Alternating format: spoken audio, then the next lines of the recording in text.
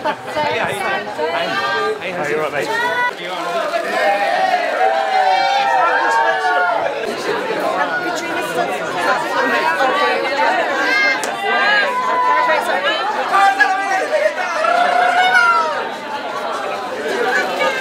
It's lovely to be here.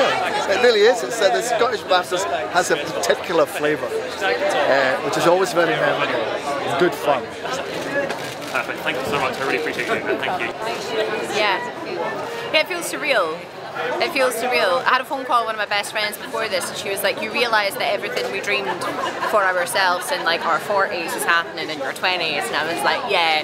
So where do we go from here? Um, it's mad. It just feels mad, but also sweet.